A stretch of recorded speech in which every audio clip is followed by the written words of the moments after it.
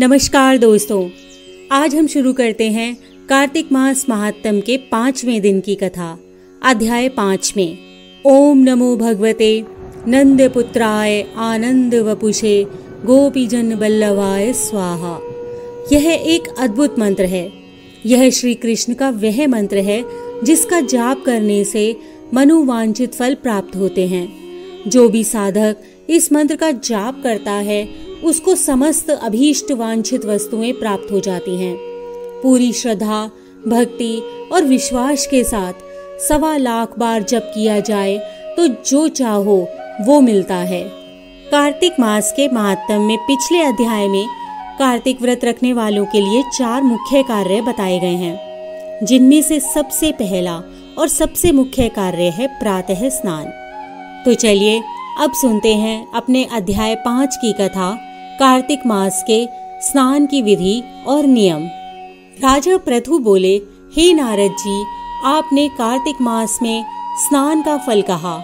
अब अन्य मासों में भी विधि पूर्वक स्नान करने की विधि नियम और उद्यापन की विधि बतलाएँ। देवर्षि नारद ने कहा हे राजन आप भगवान विष्णु के अंश से उत्पन्न हुए हैं। अतः है, आपको ये सब बातें पहले से ही ज्ञात हैं। फिर भी आपको यथाचित विधान बतलाता हूँ। अश्विन मास में शुक्ल पक्ष की एकादशी से कार्तिक के व्रत रखने चाहिए। ब्रह्म मुहूर्त में उठकर जल का पात्र लेकर गाँव से बाहर, पूर्व अथवा उत्तर दिशा में जाना चाहिए। दिन में या सायकाल में कान में जनेऊ चढ़ाकर पृथ्वी पर घास बिछाकर, सिर को वस्त्र से अच्छे तरीके से ढककर और मुँह को भी भली भांति बंद करके थूक व सांस को रोककर मल व मूत्र का त्याग करना चाहिए। तत्पश्चात मिट्टी व जल से भली भांति अपने गुप्तांगों को धोना चाहिए। उसके बाद जो मनुष्य मुख शुद्धि नहीं करता, उसे किसी भी मंत्र जाप का फल प्राप्त नहीं होता। अतः दांत और जीभ को पूर्ण रूप से शुद्ध करना चाहिए। और निम्नलिखित मंत्र का उच्चारण करते हुए दांतुन तोड़नी चाहिए। आयुर्वलम यशोवर्ज प्रजा पशु वसूनि च, ब्रह्म प्रज्ञाम च मेधाम त्वम नो देही वनस्पते। अर्थात, वृक्ष से कहें, हे वनस्पति, तू हमको आयु, बल, यश, तेज, संतान, द्रव्य, यज्ञ एवं वेद पाठ की शक्ति और बुद्धि दे। इस प्रकार मंत्र को पढ़कर बबूल, गूलर आदि किसी दूध के वृक्ष की बारह उंगल लंबी दातुन लावें। श्राद्ध तिथि और व्रत के दिन दातुन ना करें। इसी प्रकार प्रतिपदा, अमावस्या, नवमी, सृष्टि तिथियों और रविवार तथा चंद्र ग्रहण अथवा सूर्य ग्रहण के दिन भी दातुन ना करें। कांटोदार वृक्ष, कटेरी, संभालू, कपास पीपल, वट, अरंड और दुर्गंध वृक्षों की भी दातुन नहीं करनी चाहिए। तदंतर विष्णु और शिव के मंदिर में प्रसन्नतापूर्वक विधि पूर्वक गंध, पुष्प, तांबूल आदि ले जाएँ और भगवान को बेलपत्र आदि पूजन के उपचारों के साथ नमस्कार करके गीता जी आदि स्तुति गान करें एवं मधुर वाणी में भजन गाएँ। और उसके साथ ही ताल, वीणा, मृदंग आदि ध्वनि से युक्त नाचने और गाने वालों का चंदन, पुष्प आदि से पूजन और स्वागत करें, क्योंकि देवालय में भजन कीर्तन करने वाले लोग विष्णु स्वरूप होते हैं, जैसे सतयुग में जप, तप, यज्ञ, दान आदि भगवान को प्रसन्न करते हैं, वैसे ही कलयुग में भगवत गुणगान को ही भगवान श्री हरि को प्रसन्न करने का एकमात्र साधन माना गया है।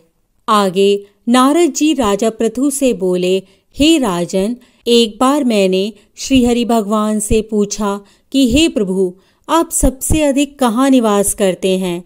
इसका उत्तर देते हुए भगवान ने कहा, हे नारद, मैं वैकुंठ या योगियों के हृदय में ही निवास नहीं करता। अपितु, जहाँ मेरे भक्त मेरा कीर्तन करते हैं, मैं वहाँ अवश्य निवास करता हूँ।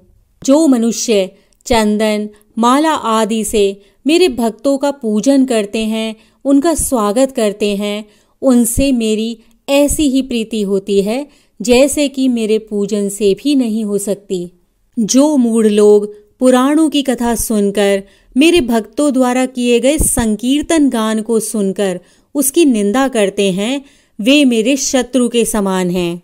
आगे नारद जी कहते हैं, शिरीष, धतूरा, गिरजा, चमेली, केसर, कंदार और कटहल के फूलों और चावलों से भगवान विष्णु की पूजा नहीं करनी चाहिए।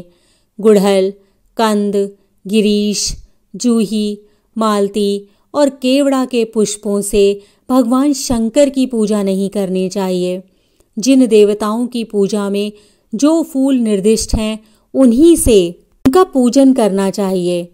पूजन समाप्ति के बाद भगवान से क्षमा याचना और प्रार्थना अवश्य करनी चाहिए।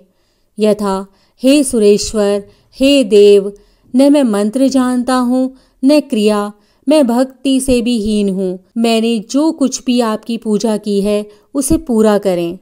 लक्ष्मी जी के चाहने वालों को तुलसी दल से गणेश जी की, दूब से दुर्गा जी की, अगस्त के फूलों से सूर्य की पूजा नहीं करनी चाहिए।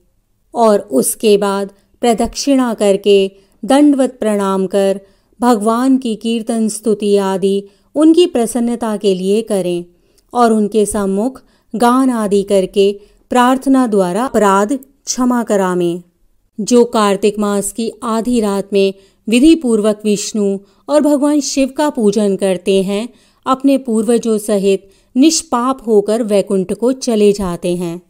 श्री कार्तिक मास महात्म पंचम अध्याय संपूर्ण।